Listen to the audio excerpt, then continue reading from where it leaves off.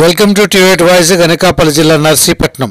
నియోజకవర్గంలో వైఎస్ఆర్సీపీ పార్టీలో చేరే చేరికలు జాయినింగ్స్తో పార్టీ శ్రేణులు మరింత ఉత్సాహాన్ని పొందుతున్నారు. ఇటీవలే కొత్త ఎలవరం గ్రామం నుండి ఈ పార్టీలో చేరారంటూ ఒక వీడియోను విడుదల చేశారు. ఇప్పుడు మళ్ళీ గొలుగొండ మండలం నుండి మరికొంతమంది పార్టీలో చేరారంటూ వైఎస్ఆర్సీపీ కార్యాలయం నుండి మరొక వీడియోని రిలీజ్ చేశారు.